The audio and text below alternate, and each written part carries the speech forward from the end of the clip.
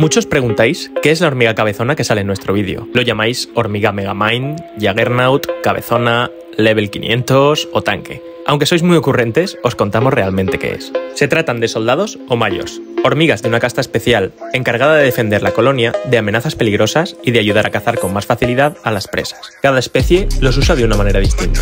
Por ejemplo, en las hormigas rojas su función es clara, son las hormigas verdugo.